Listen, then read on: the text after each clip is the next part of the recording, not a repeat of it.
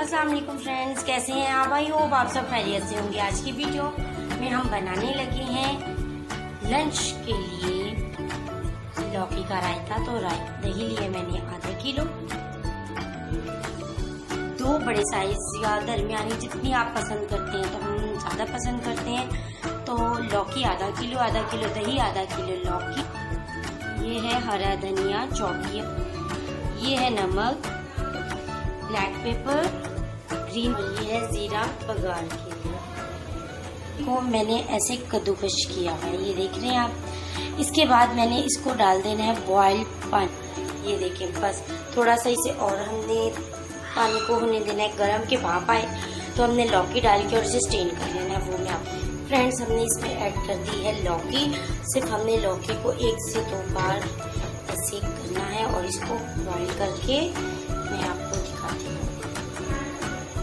Boil तो हम क्यों ना इसे अच्छे से दही को मिक्स कर लें।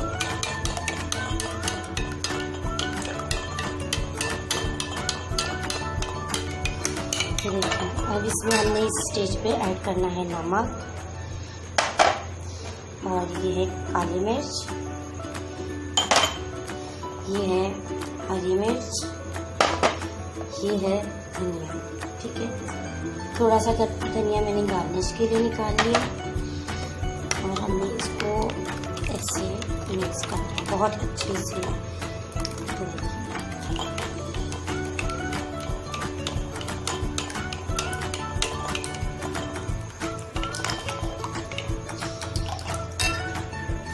बस फ्रेंड एक से दो मिनट हो चुके हैं। अब हमने इसे ऑफ़ कर देना है और इसको स्टीम करना स्टीनर हमने स्ट्रेनर में डाल देना है अपने ये ये अच्छे से स्टेन हो जाएगी तो हमने इसे ऐड कर देना है अपने दही वाले। तो फ्रेंड्स ये देखें इसे स्टेन करने के बाद हमने अच्छे से प्रेस करना है। आप हाथों की मदद से भी कर सकती हैं क्योंकि गर्म बहुत था इसलिए मैंने स्पून का इस्तेमाल किया।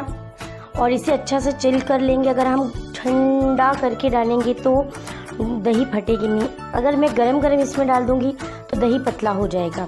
तो ये अच्छे से मैंने चिल कर लिया, इसे फ्रिज में रख दिया था, दही भी फ्रिज में रख दी थी। अब हम इसे मिक्स कर लेंगे। एक बात, आप इसे एज इट इज़ भी यूज़ कर सकते हैं। जो हम यूज़ करते हैं, जैसे तो हम इसे यूज़ करते हैं इसमें हल्का सा मक्खन या घी या ऑलिव ऑयल दो चम्मच डाल के उसमें ज़ीरा डाल के उस ज़ीरे को ब्राउन करके उसे लगा लेते हैं बघार। उससे बहुत अच्छा टेस्ट आता है। टोटली रायते का टेस्ट बदल जाता है। तो ये देखिए, मैंने ज़रा सा लिया है घी। घी में मैंने डाल दिया ज़ीरा। ज़ीरे को कर लेना है ब्राउन जब ये ब्राउन हो जाएगा तो हमने इसको लगा देना है बघार। तड़का। तो फ्रेंड्स आपने ये रेसिपी लाजमी ट्राई करनी है और मुझे बताना है कि आपको समर स्पेशल रायता कैसा लगा?